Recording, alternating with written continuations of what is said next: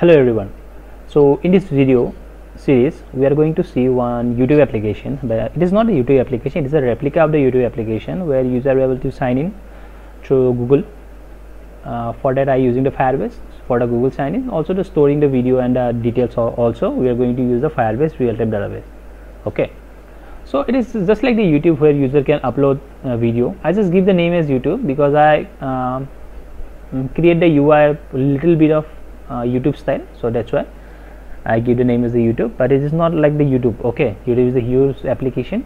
I just want to uh, take two or three features from the youtube application and try to apply in our in this video. Okay now uh, this is the splash screen as you see. This is the splash screen.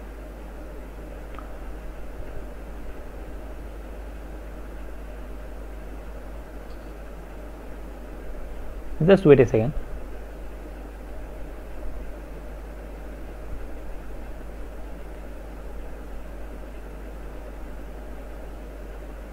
okay this is the uh, this is the splash screen right?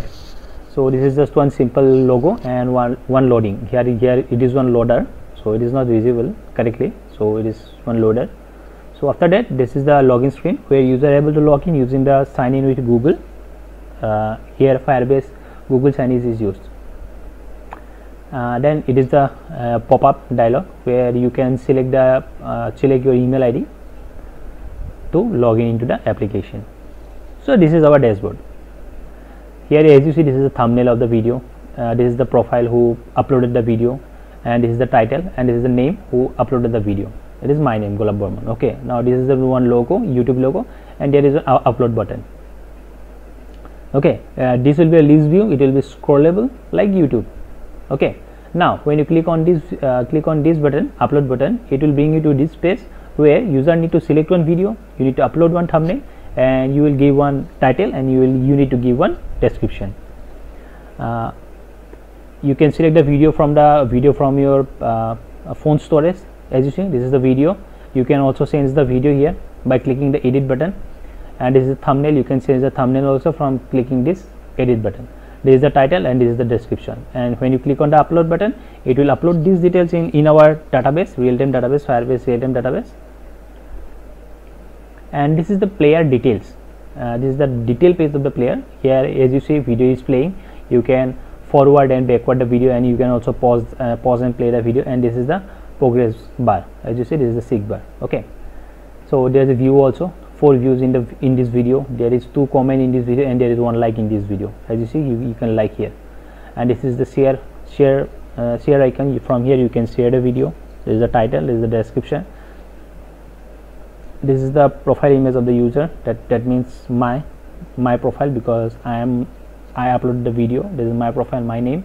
I uploaded on uh, i think in 29 september. In 29 september this is the timestamp. I need to uh, uh, format this timestamp okay? This is the timestamp from the database okay?